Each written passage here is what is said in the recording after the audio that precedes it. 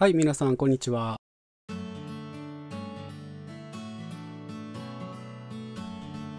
Xiaomi Mi 9T のカメラの設定を紹介します。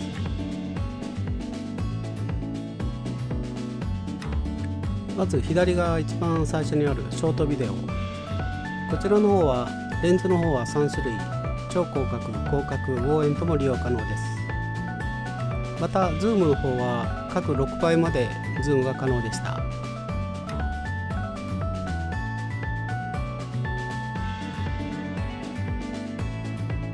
ョートビデオの特徴として美顔とスタイルの変更が可能となっています。撮影時間は1回あたり15秒となっています。顔とスレンダー肩足この4種類の変更ができるようになっています。美顔の方は5段階の修正になっています。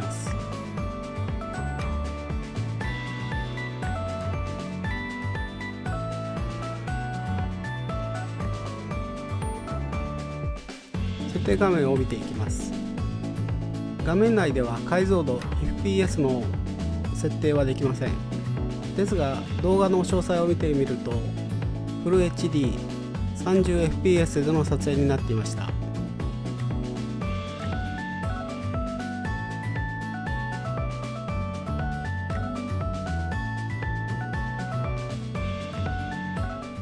次にスローモーションを見ていきます。ちらは960、240、120fps の3種類が設定可能になっています。またレンズの選択は不可能になっていました。ズームの方は各10倍まで可能な設定になっています。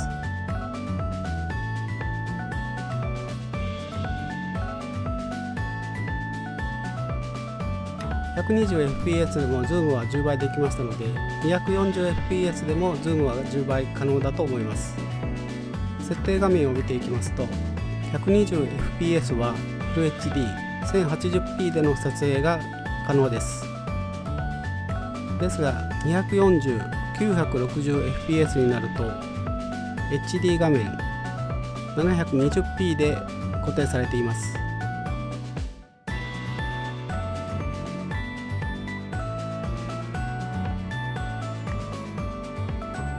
では 960fps で撮影した通過する電車を見てください。撮影時間は10秒。その後半部分が 960fps になるようです。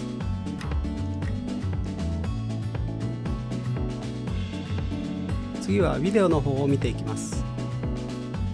ビデオの方もレンズは超広角広角望遠の3種類が利用可能です。またズームの方ですがこちらは6倍までの設定となっています。ビデオの方では美顔モードしか対応してませんでした。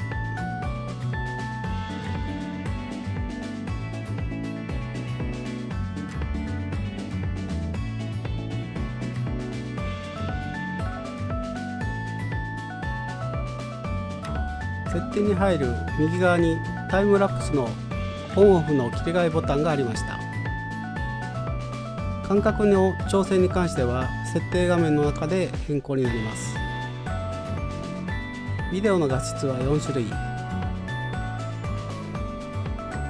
タイムラプスの方は11種類の間隔で設定ができます。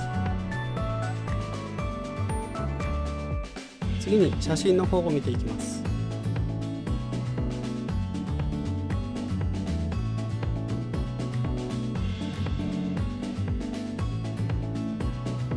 ちらもレンズの方は超広角、広角、望遠の3種類が選べます。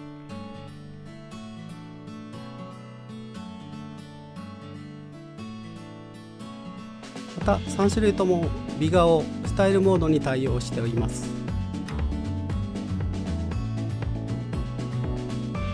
ズームの方はこちらは10倍まで可能でした。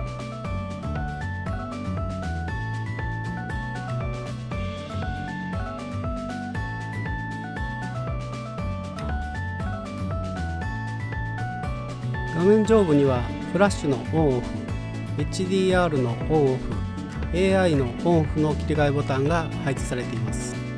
設定画面に入る前の画面にサブの項目があります。設定画面の方では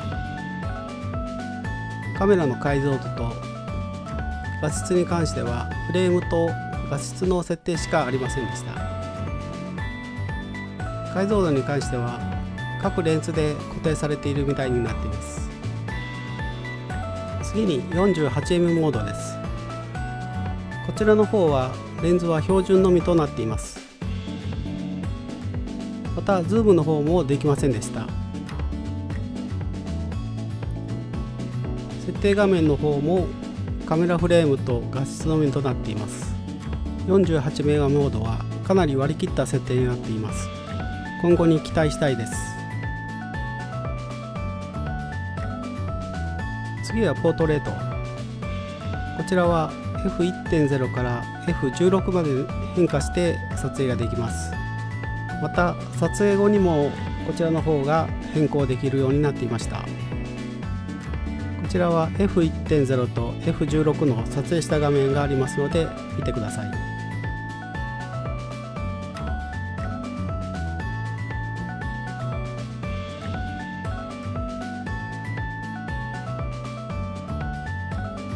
次は夜景ボートになります。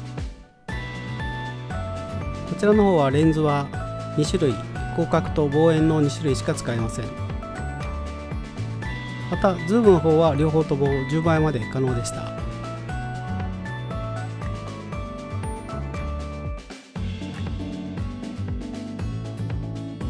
設定の方もフレームと画質の2箇所しか変更できません。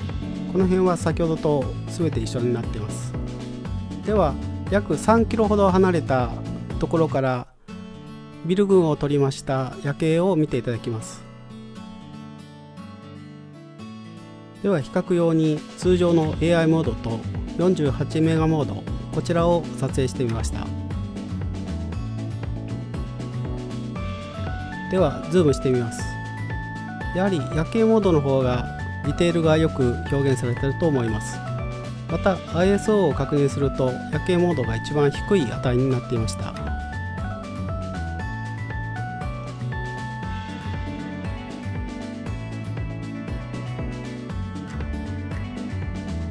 最後にプロモードを見ていきます。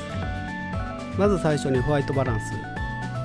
こちらの方は設定された数値と一番右側に2000から8000までの数値の変更が可能となっていました。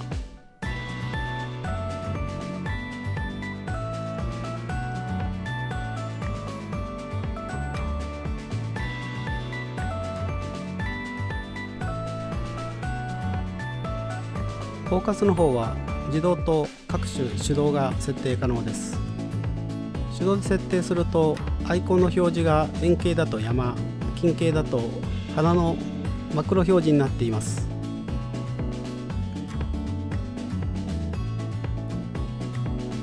またレンズの切り替えは一番右側にありまして今は広角。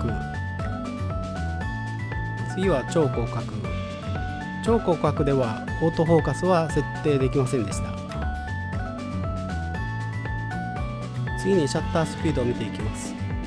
広角のメインカメラでは1000分の1秒から32秒 ,32 秒まで設定ができます。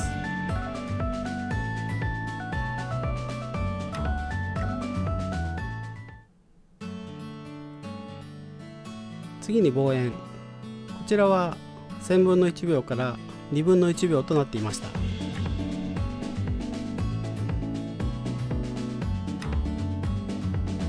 最後に超広角。こちらも望遠と同じ1000分の1秒から2分の1秒となっています。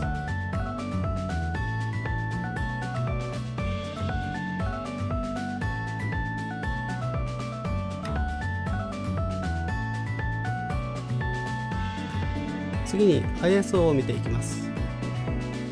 広角での ISO 値は100から3200まで選択できます。ISO の設定は他のレンズ3種類とも同じく100から3200の設定ができます。